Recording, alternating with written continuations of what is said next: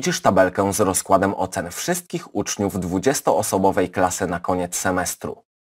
Zwróć uwagę, że rozkład ocen został przedstawiony za pomocą liczb i takiego symbolu. Ten symbol oznacza procent. W kolejnych lekcjach pokażę Ci, jak wykonywać różne obliczenia z użyciem procentów. Wróćmy do tej tabeli. Czy na jej podstawie można powiedzieć, których ocen jest najwięcej, a których najmniej? Zatrzymaj lekcję i spróbuj odpowiedzieć.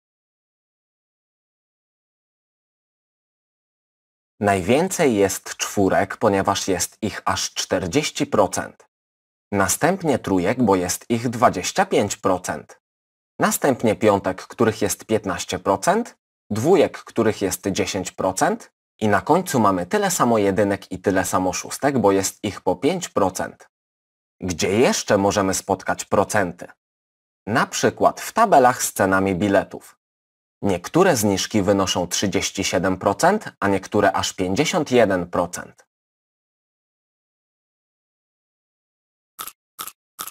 Z procentami możemy spotkać się również podczas wyprzedaży w sklepach. Zobacz, te buty przed obniżką kosztowały 200 zł i podczas wyprzedaży obniżono ich cenę o 25%. Tutaj mieliśmy do czynienia z obniżką, a gdzie możemy spotkać się z podwyżką. Spójrz na taki przykład. Pan Kowalski w 2016 roku zarabiał 3500 zł i za kolejny przepracowany rok w firmie otrzyma 10% podwyżki. W kolejnych lekcjach pokażę Ci, jak obliczyć, ile będzie zarabiał pan Kowalski po podwyżce.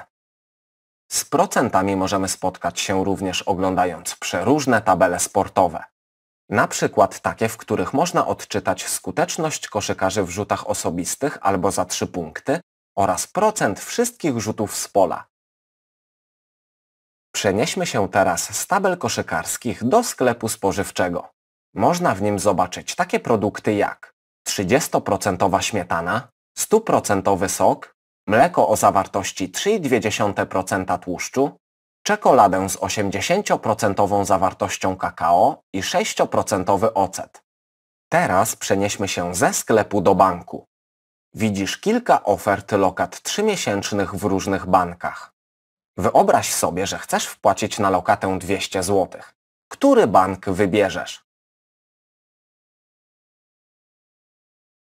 Oczywiście wybieramy ten bank, który ma najwyższe oprocentowanie, czyli bank B. Oprocentowanie lokaty 3-miesięcznej Oszczędzaj z nami wynosi 4,5%. Z procentami spotykamy się również w przypadkach, gdy opisujemy wolną przestrzeń na dysku komputerowym, postęp instalacji programów, zalesienie kraju i procent naładowanej baterii. Widzisz, że procenty występują w wielu różnych dziedzinach życia. Zatrzymaj teraz lekcję i zastanów się, gdzie jeszcze występują procenty. Napisz w komentarzu.